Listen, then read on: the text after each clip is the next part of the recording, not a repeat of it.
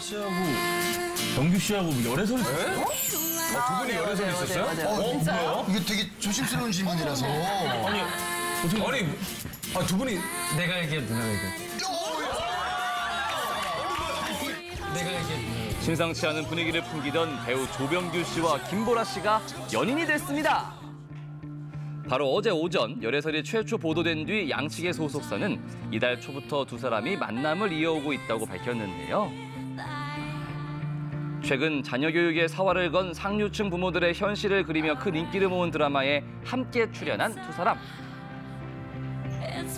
당시 공개된 촬영 현장에서 다정한 모습을 보여 한 차례 열애 의혹을 받기도 했는데요. 열애를 공식 인정한 뒤 김보라 씨는 자신의 팬카페에 드라마를 통해 친한 동료 사이가 됐고 이후 연락을 하다 보니 자연스레 서로에게 호감이 생겼다고 설명했습니다. 한편 두 사람은 한 살 연상 연하 커플이기도 한데요.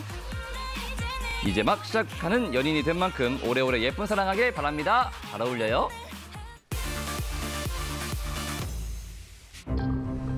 해외 상습 도박 혐의로 재판에 넘겨진 SES 출신 슈 씨가 집행유예를 선고받았습니다.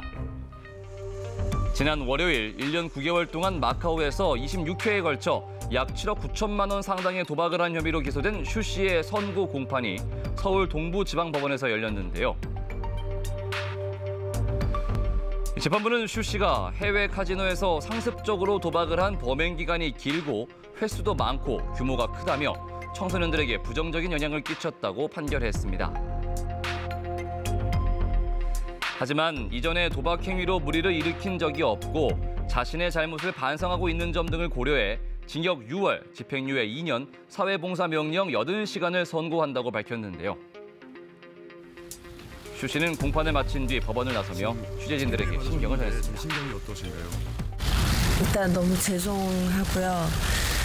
저희 아이들한테도 너무 미안하고 창피하고 처음에는 호기심으로 시작을 했다가 어, 점점 변해가는 제 모습에 너무 끔찍하고 너무 화가 나고 창피스럽고 했습니다. 슈 씨 측은 이번 선고에 대해 항소 계획은 없다고 밝혔는데요. 이렇게 재판장님이 내려주신 벌과 그리고 사회의 질, 질타 를 통해서 너무 크게 반성하고 있고 어, 이제 다시는 그럴 일 없도록 하겠습니다. 충실히 시행하겠습니다. 감사합니다. 부디 그 약속 잊지 않길 바랍니다.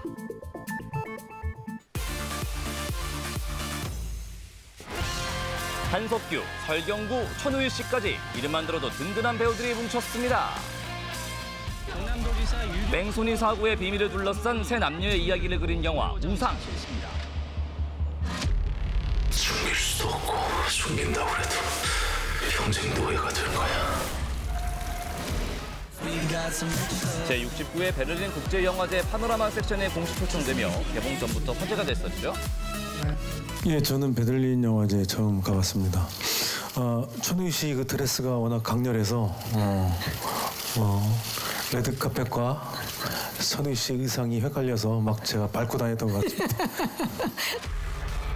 특히나 영화 우상은 대한민국 최고의 배우로 손꼽히는 한석규 씨와 설경구 씨의 첫 만남으로 기대를 모으고 있는 작품인데요. 20여 년 만에 어, 우리 경부랑 같이 한 영화에서 이렇게 만났다는 거. 저 개인적으로도 아주 참 좋았고, 네. 음, 반면에 좀 아쉬운 점은 그 사건의 아들을 사고 친 두 아들 때문에 만나다 보니까 이게 좋은 관계가 아니에요. 한석규 씨는 극중 뺑소니 사고 가해자의 아버지로 설경구 씨는 피해자 아버지로 대립하기 때문이라네요. 배우들의 연기 열정 외에 관객들의 우상을 꼭 봐야 하는 이유가 있을까요? 해석이 굉장히 여러 가지가 가능한 작품인 것 같아요. 그 퍼즐을 맞추듯이 재밌게 보셨으면 좋겠습니다. 영화 우상은 다음 달 개봉 예정입니다.